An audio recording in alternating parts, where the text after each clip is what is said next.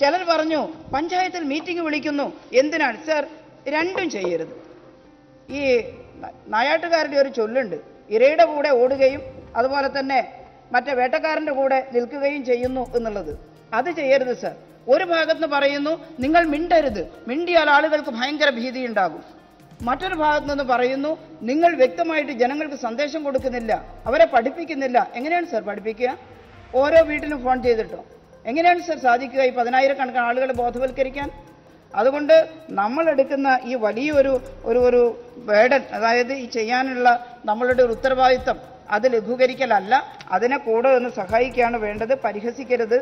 ആളുകളോട് വ്യക്തമായിട്ട് കാര്യങ്ങൾ പറയുമ്പോൾ അത് പറഞ്ഞേ മതിയാവുള്ളൂ സർ.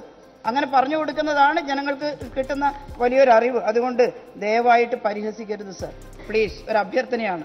ദയവ് ചെയ്ത് ഈ സമയത്ത് നമ്മൾ തമ്മിൽ ഇങ്ങനെ തല്ലിപ്പിരിയാൻ ചെറിയ കുറ്റകൃത്യങ്ങൾ കണ്ടുപിടിക്കാനുള്ള ഒരു ഫോൾ ഫൈൻഡിങ് മെത്തേഡിലേക്ക് പോകരുത്. നമുക്ക് ഒരുമിച്ച് ചേർന്ന് നമുക്ക് ഈ മഹാവിപത്തിനെ നേരിടാം.